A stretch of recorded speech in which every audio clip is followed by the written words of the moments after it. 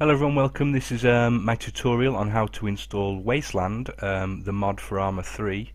Um, it's a really good mod. Um, Arma 3 is still in alpha and also Wasteland is still in alpha as well, so just remember that. You know, it's not the final product or anything like that. Uh, so what you want to do then, you want to go to Google Chrome or whatever browser you're using uh, and you want to go to this website here. It's www.armaholic.com. It's got loads of mods on here, you know, donate, uh, help them out if you can. Uh, this one in particular is the Wasteland mod. Uh, the link will be in the description. Uh, then what you want to do once you're here is you want to click on this link. That'll start downloading the mod for you. Once you've downloaded it, it literally takes just a second to download. Uh, then you want to go find it in, uh, I think it's your downloads folder, something like that. Uh, just double click on that and it should bring up WinRAR or WinZip or whatever you're using. Once you've done that, you want to extract that to the specified folder. This is generally the way I do it. You can also drag and drop if you like. Um, you want to locate your Steam folder. Mine's on my D drive. Uh, here we go, Steam. And then in Steam, you want to be going to Steam Apps, which is this one here. And then in the Steam Apps, you want to be going to Common, and then Arma 3. And then inside the Arma 3 folder, you want to put that, that file in MP Missions, just like that. I've already put it in there so it's just asking me if I want to replace it that's all that's all good so once we've done that then what we want to do is we want to start up Arma 3 so we'll just start that up now. Once that's loaded up then what you want to do is you want to hit play and then go to multiplayer.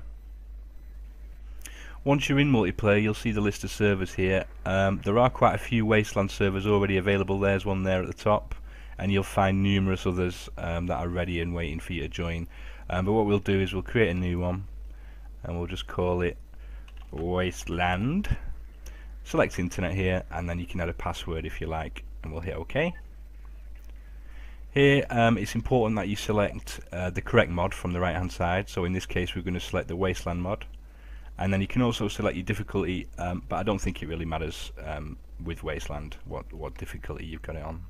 It may do. Uh, and then we'll just select say uh, here's the, you know the character selection. We'll just select whatever there. Doesn't really matter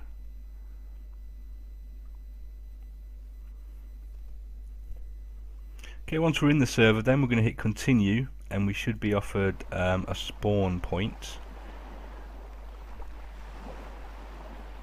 It gives you the choice between towns, beacons and random. So we'll just go with random. And we're in.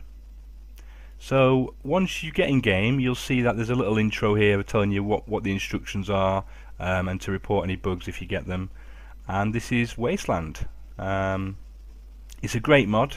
Uh, it's a little bit like DayZ, but um, without the zombies. It's like a survival um, mode server, and you get uh, sort of 15 of the players, and you got to fight to the death and try and survive. Uh, and that's how you install it. Uh, thanks for watching. Uh, please subscribe and like. Um, and help us out um, and we'll see you in the future uh, Arma 3 videos where we'll be doing tutorials on movement, um, cover and the basic controls um, of Arma 3 and weapons. Cheers.